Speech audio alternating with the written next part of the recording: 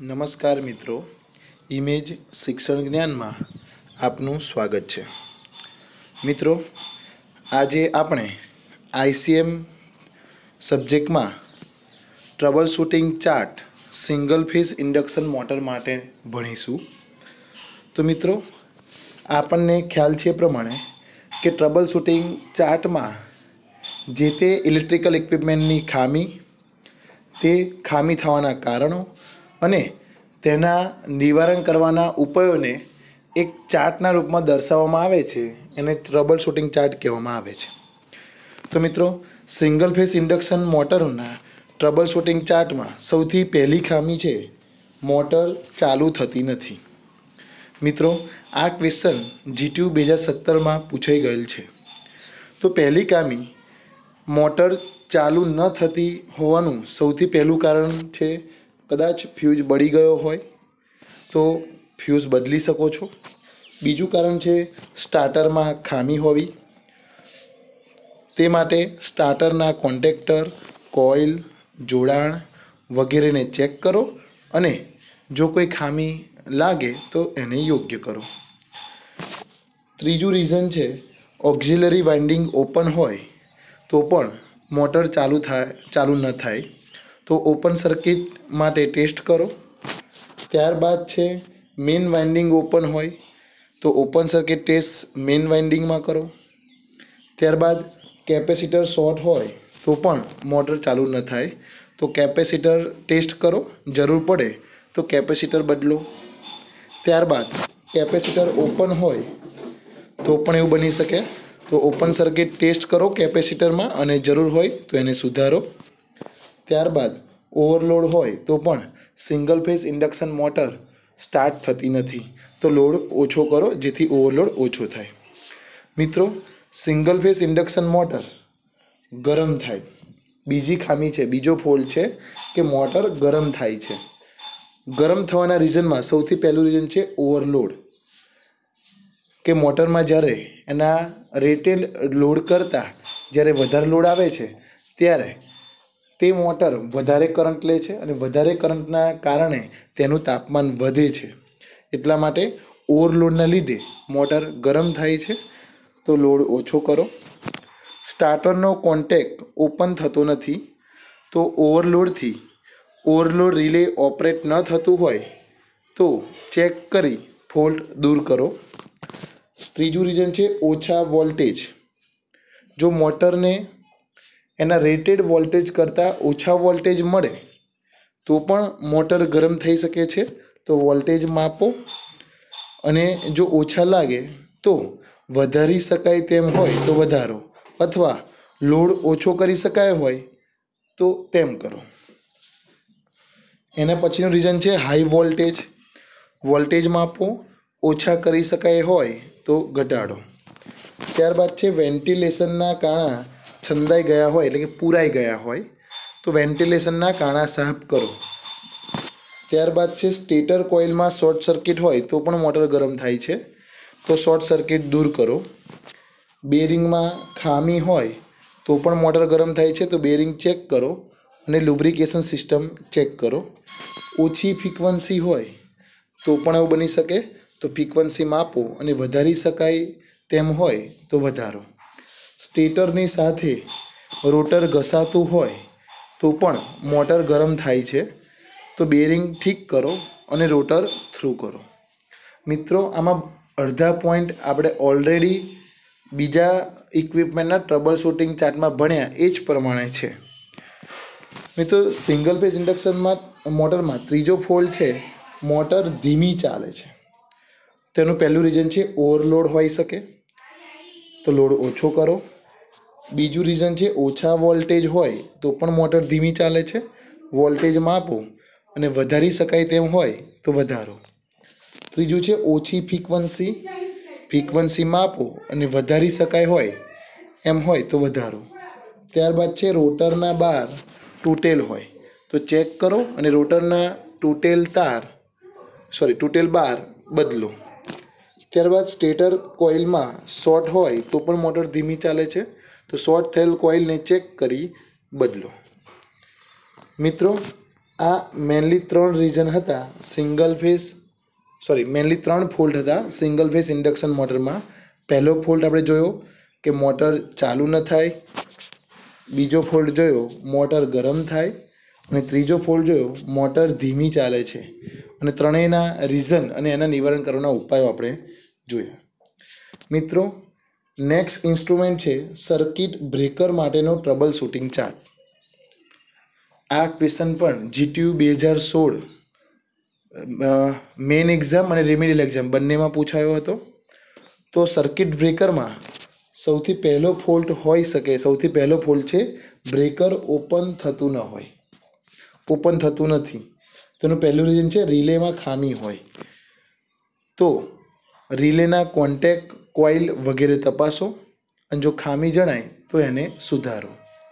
બીજું છે, બ્રેકરને ઓપરેટ કરવા માટે જરૂરી વોલ્ટેજ ન મળતા હોય તો પણ બ્રેકર ઓપન ન થાય. તો વોલ્ટેજ માપો ઓછા હોય તો કારણ શોધી દૂર કરો. ત્રીજું રીઝન છે મિકેનિકલ લિંકેજ બરાબર ન હોય. તો લિંકેજમાં લુબ્રિકેશનની જરૂર હોય તો લુબ્રિકેશન કરો. સર્કિટ બ્રેકરમાં ચોથું કારણ હોઈ શકે ઇલેક્ટ્રોમેગ્નેટમાં ખામી. તો ઇલેક્ટ્રોમેગ્નેટિક કોઇલ ચેક કરો અને બદલવાની જરૂર પડે તો બદલો. નેક્સ્ટ રીઝન છે કોન્ટેક્ટરની મૂવિંગ કોન્ટેક્ટની સ્પ્રિંગમાં ખામી. સ્પ્રિંગ ચેક કરો અને ખામીવાળી લાગે તો તેને બદલો. ત્યારબાદ સર્કિટ બ્રેકર ઓપન ન થવાનું કારણ છે, મેઇન કોન્ટેક વેલ્ડ થઈ ગયા હોય તો એ કોન્ટેક્ટને બદલો. તો મિત્રો, આ છ રીઝન છે બ્રેકર ઓપન ન થતું હોય એના માટેના. મિત્રો, બીજો ફોલ છે બ્રેકરની ટેન્કમાં ધડાકો થાય. તો ધડાકો થવાનું ટેન્કમાં ધડાકો થવાનું પહેલું કારણ છે ટેન્કમાં ગેસનું પ્રેશર વધી ગયું હોય, એવું બની શકે. તો એનું કારણ છે, એનું નિવારણ કરવાનો ઉપાય છે કે ગેસ ગેસ વન પ્લગ બરાબર કાર્ય ન કરતું હોય, તો એને સાફ કરો. બીજું છે ઇન્ટરનલ અલ્ટ ફોડ થયો હોય, તો પણ બ્રેકની ટેન્કમાં ધડાકો થાય. તો ઇન્સ્યુલેશન રજિસ્ટન્સ માપો સર્કિટ બ્રેકરમાં ત્રીજો ફોલ્ટ છે કે ટેન્કમાં ઓઇલનું લેવલ જલ્દીથી ઘટી જાય. તો ઓઇલનું લેવલ ઘટી જવાનું પહેલું કારણ છે કે ડ્રેન વાલ ખરાબ થઈ ગયો હોય, તો ડ્રેન વાલને ચેક કરો. બીજું છે, ઓઇલનું ક્યાંકથી લીકેજ થતું હોય, તો પણ ઓઇલ જલ્દીથી ઘટી જાય છે. તો ટેન્કમાંથી ઓઇલનું લીકેજ થતું થાય છે કે નહીં ચેક કરો, થતું હોય તો એને દૂર કરો. યોગ્ય કરો. નેક્સ્ટ ફોલ છે, સર્કિટ બ્રેકર કંટ્રોલ રૂમમાંથી ઓપરેટ થતું નથી. મિત્રો, આપણે જાણીએ છીએ પ્રમાણે કે સર્કિટ બ્રેકર રિલે થ્રુ કાર્ય કરે છે, એટલે રિલે થ્રુ ઓપરેટ થઈ છે અને એને આપણે કંટ્રોલ રૂમમાંથી કમાન્ડ આપીએ છીએ.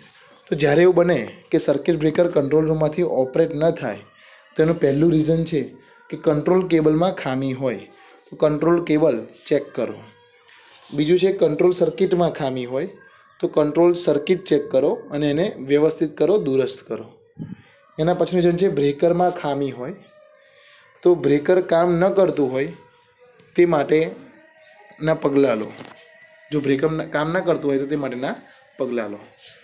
મિત્રો, પાંચમો ફોલ્ટ છે કોન્ટેક અને અર્થ વચ્ચે ફ્લેશ ઓવર થાય. તો ઇન્સ્યુલેટિંગ ઓઇલમાં ખામી હોય તો ફ્લેશ ઓવર થઈ શકે છે. તો કે ઓઇલની ડાયલેક્ટ્રિક સ્ટ્રેન્થ માપો અને જરૂર લાગે તો બદલો. ફ્લેશ ઓવર મીન્સ સળગવું. તો ઇન્સ્યુલેટિંગ ઓઇલમાં ખામી હોય તો કોન્ટેક અને અર્થ વચ્ચે ફ્લેશ ઓવર થઈ શકે છે. તો ઓઇલની ડાયલેક્ટ્રિક સ્ટ્રેન્થ માપો અને જરૂર લાગે તો બદલો. એનું બીજું પણ નિવારણ કરવાનો ઉપાય છે કે લાઇટિંગ, એરેસ્ટર તપાસી એને બદલી એને પણ બદલી જુઓ. મિત્રો, તો આ પાંચ ફોલ્ટ હતા સર્કિટ બ્રેકરના ટ્રબલ શૂટિંગ ચાર્ટ માટેના ફોલ્ટ હતા. પહેલું તો બ્રેકર ઓપન થતું નથી. બીજું છે બ્રેકરની ટેન્કમાં ધડાકો થાય. ત્રીજું છે ટેન્કમાં ઓઇલનું લેવલ ઘટી જાય. ચોથું છે સર્કિટ બ્રેકર કંટ્રોલમાંથી ઓપરેટ ન થઈ શકતું હોય. અને પાંચમું છે કોન્ટેક અને અર્થ વચ્ચે ફ્લેશ ઓવર થાય. હવે મિત્રો આ જોયા ઇલેક્ટ્રિક ઇક્વિપમેન્ટ મોટર જનરેટરની વાત થઈ. હવે કેટલાક ટ્રબલ શૂટિંગ ચાર્ટ જોઈએ ડોમેસ્ટિક એપ્લાયન્સીસ માટે. એટલે કે ઘરમાં વપરાતા સાધનો માટેના ટ્રબલ શૂટિંગ ચાર્ટ જોઈએ. એમાં આપણે કેટલાક એક્ઝામ્પલ જોઈએ. તો સૌ પ્રથમ લઈએ આપણે ઇલેક્ટ્રિક આયન એટલે કે ઇલેક્ટ્રિક ઇસ્ત્રી. તો સૌથી પહે, ઇસ્ત્રી ઇલેક્ટ્રિક આયનનો ઉપયોગ, એટલે કે ઇસ્ત્રીનો ઉપયોગ આપણે બધા જાણીએ છીએ. બરાબર? તો એમાં પહેલી ખામી સર્જાઈ શકે કે પહેલો ફોલ્ટ છે ઇસ્ત્રી ગરમ થતી ન હોય. તો ઇસ્ત્રી ગરમ ન થવામાં સૌથી પહેલું રીઝન હોઈ શકે સપ્લાય આવતો ન હોય. તો બની શકે કે ઇસ્ત્રી ગરમ ન થાય. તો એનું નિવારણ કરવા માટે થાંભલા પરનો ફ્યુઝ બળી ગયો હોય, તો તો પણ સપ્લાય ના આવતો હોય અથવા તો મીટરનો કટઆઉટ બળી ગયો હોય, તો સપ્લાય કંપનીને જાણ કરી શકો છો. બીજું રીઝન છે ફ્યુઝ બળી ગયો હોય, તો પણ ઇલેક્ટ્રિક આયન ગરમ ના થાય. તો ફ્યુઝ બાંધો. ત્રીજું રીઝન છે સપ્લાય કોડનો વાયર થ્રી પિન ટોપમાંથી છૂટો પડી ગયો હોય તો વાયરને જોડો. સપ્લાય કોડનો વાયર ઓપન હોય તો સપ્લાય કોડ બદલો. હીટિંગ એલિમેન્ટનો છેડો ટર્મિનલમાંથી છૂટો પડી ગયો હોય. આપણે બધા જાણીએ છીએ કે ઇસ્ત્રીમાં એક હીટિંગ એલિમેન્ટ હોય છે. હીટિંગ એલિમેન્ટ્સ મીન્સ ક્રોમિયમનો બનેલો હોય છે કે જે વધારે ગરમ થાય છે. અને એનો જ છેડો છૂટો પડી ગયો હોય સપ્લાયથી, તો પણ ઇલેક્ટ્રિક આયન ગરમ થતું નથી, એટલે કે ઇસ્ત્રી ગરમ થતી નથી. તો એલિમેન્ટને ટર્મિનલ સાથે બરાબર જોડો.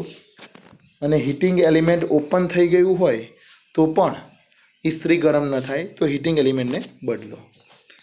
બીજો ફોલ છે ઇલેક્ટ્રિક ઇસ્ત્રીમાં, કે ઇસ્ત્રી પૂરતા પ્રમાણમાં ગરમ ન થતી હોય. ગરમ થાય છે, પણ બરાબર ગરમ થતી નથી. વધારે ગરમ જોઈએ એટલે પ્રમાણમાં ગરમ થતી નથી. તો એનું પહેલું રીઝન છે સપ્લાય વોલ્ટેજ ઘણો ઓછો હોય. તો ફરિયાદ લાંબો વખત રહે તો સપ્લાય કંપનીને જાણ કરો. ઓટોમેટિક ઇસ્ત્રીના થર્મોસ્ટેટના સ્ટેટિંગ ખરાબ થઈ ગયા હોય, તો પણ એવું બની શકે કે ઓટોમેટિક ઇસ્ત્રીમાં થર્મોસ્ટેટ હોય છે. કે તમે જે પ્રમાણે ટેમ્પરેચર સેટ કરો છો, ત્યાં સુધી ઇસ્ત્રી ગરમ થાય છે. તો એ સેટિંગ બરાબર કરો, જો ન થાય તો થર્મોસ્ટેટ એને બદલી નાખો. ત્રીજું રીઝન છે થર્મોસ્ટેટ બરાબર ન હોય. તો એને બદલો સેમ રીઝન સેમ પ્રોબ્લેમ છે. ચોથું છે જોડાણ ઢીલા હોય, તો જોડાણને ટાઈટ કરો. ત્રીજો ફોલ છે કે ઇસ્ત્રી ચાલુ કરતાં ફ્યુઝ ઉડી જાય. તો મિત્રોનું પહેલું કારણ છે કે કોઈ કારણસર ફીજ વાયર બોડીને અડકી જતો હોય, એટલે કે અર્થ ફોલ્ટ થયો હોય. તો એને નિવારણ કરવા માટે સપ્લાય કોડથી ઇસ્ત્રીના ટર્મિનલ સુધી ચેક કરી વાયર છૂટો પાડો. બીજું રીઝન હોઈ શકે સપ્લાય કોડના વાયર અંદરથી ભેગા થઈ ગયા હોય તો પણ ઇસ્ત્રીના ફ્યુઝ ઉડી જાય. તો સપ્લાય કોડ બદલી જુઓ. ત્યારબાદ થ્રી પિન ટોપમાં જ લાઇન અને ન્યુટ્રલ ભેગા થઈ જતા હોય તો વાયર બરાબર જોડો. એના પછીનું રીઝન છે ઇસ્ત્રીની ટર્મિનલ પ્લેટમાં લાઇન અને ન્યુટ્રલ ભેગા થઈ ગયા હોય, તો ટર્મિનલમાંથી વાયર છૂટા પાડો. ત્યારબાદ ચોથો ફોલ છે કે ઇસ્ત્રીની બોડીને અડકતા શોક લાગે. તો એનું પહેલું કારણ છે કે લાઈવ વાયર ઇસ્ત્રીને બોડીને અડતો હોય, તો એવું બની શકે છે. તો એ વાયરને દૂર કરો. ઇસ્ત્રીની બોડી, એટલે કે જ્યાં આપણે એને પકડીએ છીએ અથવા તો એની બોડી, એટલે ઉપરનો ભાગ એમાં અંદર કોઈ વાયર છે, એની બોડીને ટચ થઈ ગયો હોય, તો પણ એ બોડી પર કરંટ ફરતો પસાર થતો હોય છે, જેથી આપણને શોક લાગી શકે છે. તો એ વાયરને દૂર કરો. બીજું છે હીટિંગ એલિમેન્ટમાં લીકેજ હોય, તો હીટિંગ એલિમેન્ટ બદલો. ત્રીજું છે અર્થિંગ વાયર અર્થિંગ વાયર સાધનની બોડીથી છૂટો પડી ગયો હોય, તો પણ આપણને શોક લાગી શકે છે. તો અર્થિંગ વાયર બોડીની સાથે બરાબર જોડો. ચોથું છે અર્થિંગ વાયર ઓપન હોય તો સપ્લાય કોડ બદલો. પાંચમું છે અર્થિંગ વાયર થ્રી પિન ટોપમાંથી નીકળી ગયો હોય તો પણ આપણને શોક લાગી શકે છે. તો અર્થિંગ વાયરનું જોડાણ બરાબર કરો. નેક્સ્ટ છે અર્થ કન્ટિન્યુટી કંડક્ટર ઓપન હોય તો પણ શોક લાગી શકે છે. તો અર્થ કન્ટિન્યુટી કંડક્ટર બરાબર તપાસી જોડાણ કરો. સાતમું છે અર્થ પ્રતિરોધ વધી ગયો હોય તો પણ ઇસ્ત્રીમાં શોક આવી શકે છે. તો અર્થ પીટમાં પાણી રેડો સોરી અર્થિંગ પીટમાં પાણી રેડો અને અર્થિંગ પ્લેટની સાથે અર્થના વાયરો જોડાણો વ્યવસ્થિત કરો. મિત્રો, આપણે બધાને ખ્યાલ છે કે અર્થ પ્રતિરોધ વધી જવાનું કારણ છે.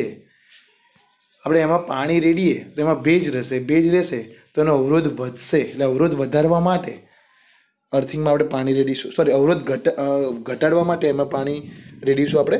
એટલે જો અર્થિંગ અર્થિંગ અવરોધ વધી જશે તો તેમાંથી કરંટ પાસ થશે નહીં. એટલા માટે આપણે એનો અવરોધ ઓછો કરવો પડશે અને એટલા માટે આપણે ત્યાં પાણી રહીએ છીએ જેથી ભેજ રહે અને ભેજ રહે તો એનો રેઝિસ્ટન્સ ઘટશે.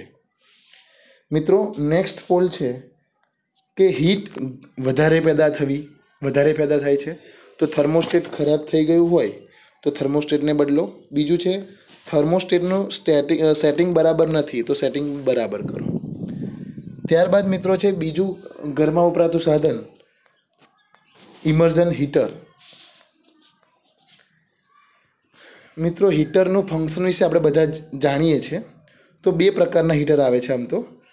તો સૌથી પહેલાં છે સ્ટોરેજ હીટર અને બીજું છે મિક્સર સોરી સ્ટોરેજ હીટર આવે છે અને બીજું એક રનિંગ હીટર આવે. તો આપણે એની પહેલે ખામી જોઈ લઈએ કે જે આપણે ઇસ્ત્રી જેવી જ છે. સૌથી પહેલો ફોલ્ટ છે કે પાણી ગરમ ન થતું હોય. બીજું છે ફ્યુઝ ઉડી ગયો હોય. ત્રીજું છે શોક લાગે છે. તો એ બધા પોઈન્ટ આપણે ઇલેક્ટ્રિક આયન જેવા જ આવશે. હવે સ્ટોરેજ વોટર હીટરની વાત કરું, પેલું હતું ઇમર્જન હીટર જે આપણે ડાયરેક્ટલી આવે છે, ડોલમાં મૂકીએ છીએ એને કહેવાય ઇમર્જન હીટર અને સ્ટોરેજ વોટર હીટર એટલે બાથરૂમમાં હોય છે એને કહેવાય સ્ટોરેજ વોટર હીટર તેમાં પહેલું ખામી છે, પાણી ગરમ ન થવું. તો પણ સેમ રીઝન આવશે ઉપરના જેવું. બીજું છે, પાણીની ક્વોન્ટિટી એટલે કે જથ્થો અપૂરતો હોય. તો એમાં પહેલું કારણ છે થર્મોસ્ટેટનું સ્ટેટિંગ ઓછું હોય. એટલે તો સેટિંગ બદલો. બીજું છે હીટર ટેન્કની કેપેસિટી માણસોના પ્રમાણમાં ઓછી હોય તો પણ એવું બની શકે છે. તો મોટી કેપેસિટીવાળું હીટર વાપરો અથવા તો ઉપયોગમાં સ્ટેગરિંગ કરવું એટલે કે જરૂર મજ- મુજબ ઉપયોગ કરવો ત્રીજી ખામી છે પાણી અતિશય ગરમ થાય, વરાળ નીકળે છે. સેમ ઇલેક્ટ્રિક આયનના જેવું રહેશે. સપ્લાય ચાલુ કરતાં ફ્યુઝ ઉડી જવો, એ પણ ઇલેક્ટ્રિક આયનના જેવો રહેશે. તો મિત્રો, આ પોઈન્ટ હતા ઇમર્ઝન હીટર અને સ્ટોરેજ વોટર હીટર માટેના ટ્રબલ શૂટિંગ ચાર્ટ માટેના. મિત્રો નેક્સ્ટ લેક્ચરમાં આપણે બીજા કેટલાક ઘરમાં વપરાતા સાધન વિશે વાત કરીશું. મિત્રો, એક રિક્વેસ્ટ છે, આમાં કંઈ પણ તમને પ્રોબ્લેમ જણાય, તો તમે વોટ્સઅપ દ્વારા કે કોલ દ્વારા મને પૂછી શકો છો. અને નેક્સ્ટ વીડિયો લેક્ચરની જાણકારી માટે તમે આ ચેનલને સબસ્ક્રાઈબ કરો અને બેલ આઇકોન પર ક્લિક કરો. આભાર.